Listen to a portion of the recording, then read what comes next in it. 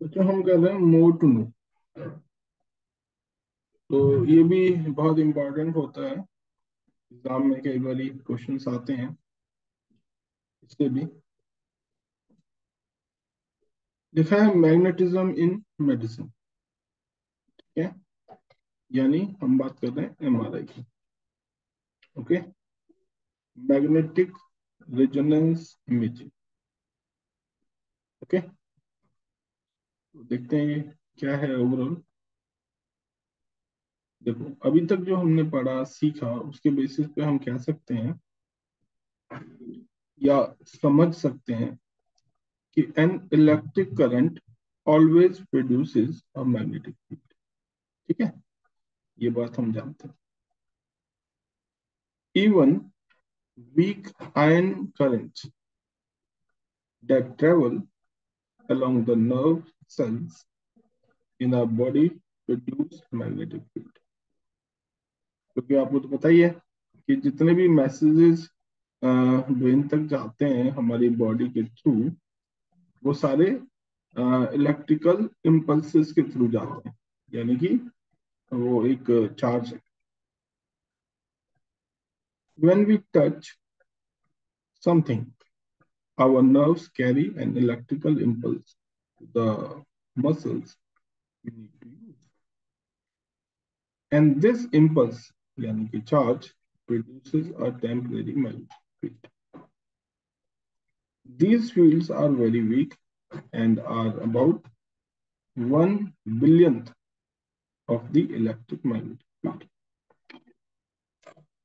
two main organs in the human body where the magnetic field produced is significant are the heart and the brain. तो heart और brain में आप बड़ी आसानी से जो मैग्नेटिज्म है उसको ऑब्जर्व कर सकते The magnetic field inside the body forms the basis of obtaining the images of different body parts. This is done using a technique called magnetic resonance imaging MRI आपने सुना होगा मेडिकल टर्म है MRI बहुत common है आज के date में। Analysis of these images help in medical diagnosis magnetism has got important use in medicine ठीक है तो अब कई सारे क्वेश्चन बन सकते हैं कि भाई what is the use of magnetism in medicine तो आप इसमें लिख सकते हैं इसे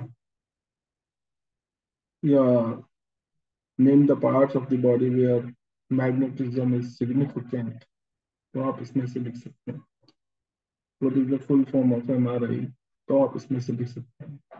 Name the technique used to get images of different parts of the body वो इसमें से आप लिख सकते हैं। ठीक है ना? How magnetism is produced in our body तो आप लिख सकते हैं। ठीक है? What are the responsible charges to obtain to get magnetism? या for the MRI वो आप इसमें से लिख सकते हैं। तो दिस इज़ वेरी इंपॉर्टेंट देखो एग्ज़ाम में क्वेश्चन आंसर्स आने, ये बात ठीक है, और हमें क्वेश्चन आंसर पे फोकस करना ही चाहिए ठीक है। लेकिन रीडिंग बहुत इंपॉर्टेंट क्योंकि reading is the only source that that can make you knowledgeable सारी की सारी नॉलेज जो मेरे पास है, आपके स्कूल वाले सर या मैम के पास है, आपके बड़ों के पास है, ठीक है ना? किसी के पास भी है, वो सारी की सारी नॉलेज सिर्फ़ और सिर्फ़ रीडिंग करने से आई है।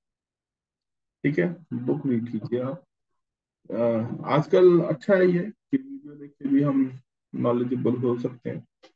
क्योंकि वीडियो में भी देखो होती तो रीडिंग है। बस फ़र्क ये है कि हम खुद नहीं रीड कर रहे कोई और रीड कर रहा है। अब जैसे आपके लिए मैं रीड कर रहा हूँ। ओके तो this is very very important you can't miss it okay तो ये मोर टू नो था। और इस पर भी आपको फोकस करना चाहिए। ठीक है, इसके आगे इलेक्ट्रिक मोटर है, जिसके लिए ऑलरेडी हमारे चैनल पे वीडियो है ही तो आप वहाँ से उसे देख सकते हैं और सीख सकते हैं। Okay thank you very much